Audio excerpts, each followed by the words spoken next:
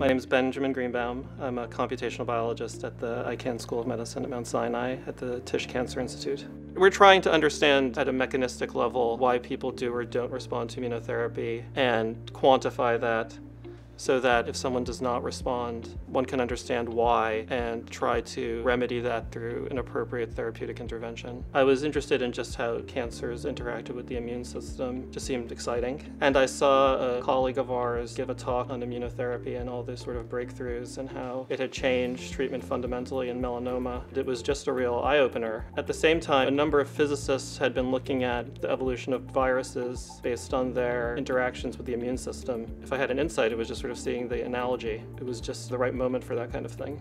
The thing that first got us excited was that people started to notice that the number of mutations a person's tumor has seemed to be predictive of response.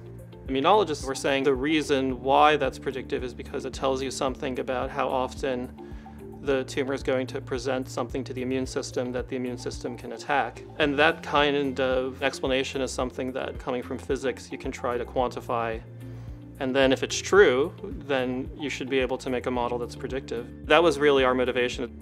Our work is highly collaborative. We work with clinicians, with oncologists, with immunologists, with geneticists to try to round out the full picture of how the immune system interacts with cancers treated by immunotherapy. This is a kind of problem and project that I think requires all of those people working together, especially given how promising it is. It's just like a very vibrant time in cancer immunotherapy and in just understanding how the immune system interacts with, with tumors. This award really funds the whole project. It's invaluable to be able to really commit to that project.